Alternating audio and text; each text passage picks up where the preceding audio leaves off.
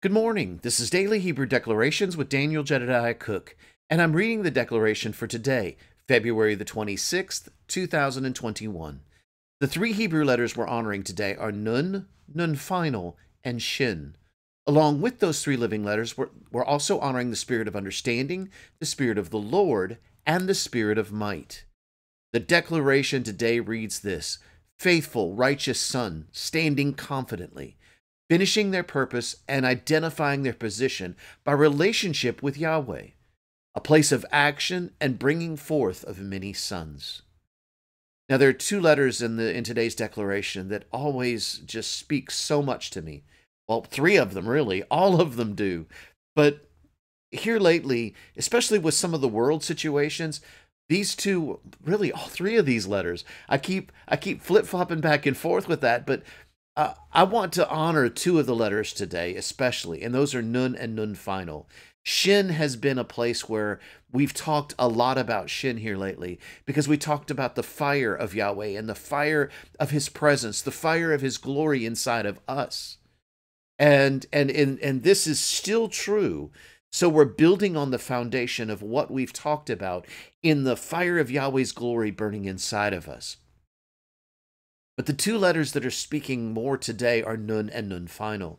Now, these two letters are really the same letter that that has it depends on where it's used in a Hebrew word as to which letter you may see.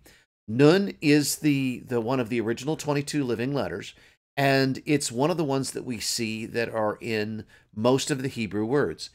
Now, during the time of Ezra, Nun final was added to that. There were some additional letters, and there were five uh, additional Hebrew letters that had uh, a sophit or a final version that was added to them. And this is one of those. So, Nun final really talks about taking what the understanding of Nun is and then expanding it out to its greatest expanse.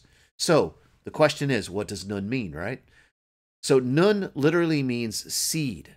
It means fish, believe it or not. but it also means son, king, heir, and priest. I know you may say, well, what does a fish have to do with any of this? Well, there is a beautiful expression about this, and I'll tell you guys about it later when we talk about how that fish fits in to being a son, a king, an heir, and a priest. And it's beautiful. So when I look at Nun Final, then it takes the the place of or it, it, it just it takes the definition of it takes the the representation of it takes the identity of if you will of the nun and then it completes it. It takes it to its its fullest completion. So if nun would say that i'm a king an heir and a priest and a son then nun final would say that i'm standing in the fullness of that being son, king, heir, and priest. You see, when Yahweh first began to show me the living letters, he's only, and, and since then, he's only given me one definition of nun final. And that is the scripture, till we all come to the fullness of the measure of the stature of Christ. So you see, even this nun final talks about the place of unity, till we all come. We're talking about the fullness of the measure of the stature of Christ. I saw Nun Final as a measuring rod. I can talk, I'm going to talk about that a little bit later because there's something else that Yahweh's wanted me to talk about, but I've got to lay some basic understanding of these two letters first. So, if you will, it's kind of like an upright man, one who has who has who lives in humility and stands in this place of knowing who they are as sons. That's the reason why Michelle made this uh, made this statement. Faithful, righteous sons standing confidently, finishing their purpose and identifying their position by relationship with Yahweh. In other words, my my my position is not based on what the world thinks of me. It's not based on what the what others may think of me. It has to do with my relationship with Yahweh. Well, in that place of me and him, it's it's funny. I've got a I've got a unique way of looking at it but when I go into the secret place, there are two expressions of the secret place that I see. One expression is that time where it's just Yahweh and I. I call it the universe of two. And the reason I do is because in this place of, of the secret place, there is just him and I.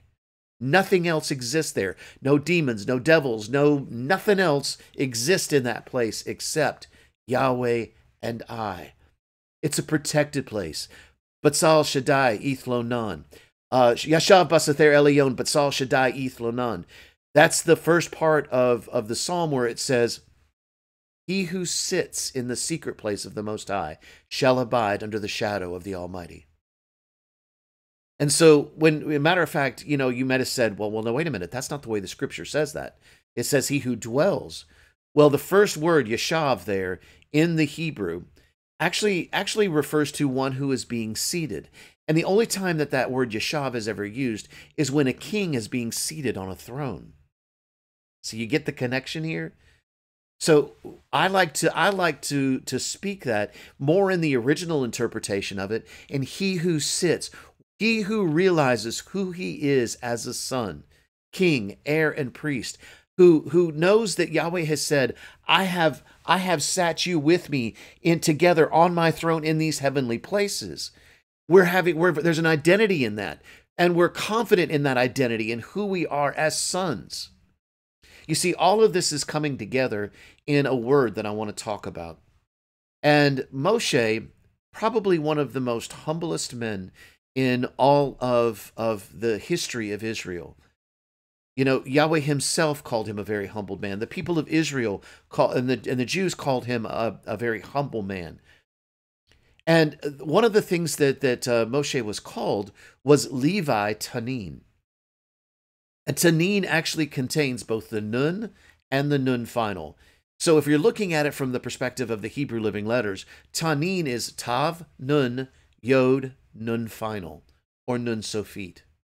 And the reason I bring that up is because the Tanin there talks begins to talk about the place of identity and knowing who they are, standing confidently in the place of, of knowing our position and finishing that purpose that Yahweh has set us for.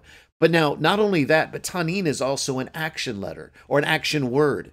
It brings about the place of moving towards something and completing something and the bringing forth of many sons. When Moshe led the people of Israel out of Egypt to take them to the, the valley of Sinai, or the Sinai as we call it, he led them in there for a purpose because Yahweh had told him at the burning bush, I want you to bring my people here to, to so they can learn how to be connected with me. They can learn how to worship me.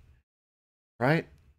And so there was the, the action of, of taking the people out of Israel and showing them really, it's funny, if you really go down to it and you look at the scripture, one of the reasons that Yahweh said that I want to take them down there, and it's it's found in Exodus 19, was Yahweh said, I really want them to overhear the relationship that you and I have.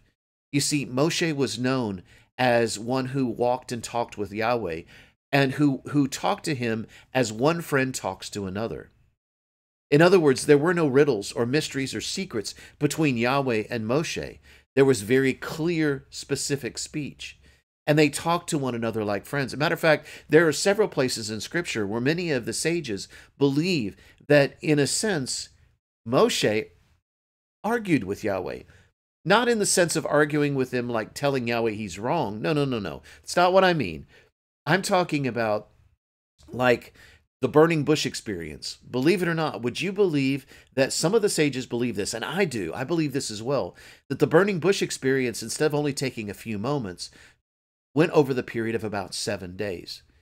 And during that time, Moshe, probably the, the biggest reason why it took the seven days was because Moshe was asking Yahweh, if you will, in a in this in this plea I don't like to use the word argument here because it's got the negative aspect to it. But in this plea, saying, let this be the last exile. Let this be the time where it's the completion of, of everything that you have promised and everything that you have shown me. You see, in Levi Tanin, Levi Tanin was one who stood up and, and was strong, one who believed and knew who he was in him. But you see, Yahweh is taking us to a place where we are no longer Levi Tanins. You see, the identity that he is bringing us to is the one of Zadok Tanins. You see, Zadok was one of the of the uh, sons of, of Levi, But Zadok was one who instead looked at the face of the Father. Uh, Oracle Teresa Bowen here at Gates of Zion has a wonderful book that talks about the Zadok New World or the, the New Old Order. And it talks about the revelation of, of Zadok. And uh, if you don't have that book, I would suggest you, highly suggest that you get it. But in this place, Zadok is one who looks to the face of the Father and stands in that place of who we are as sons of Almighty Yahweh.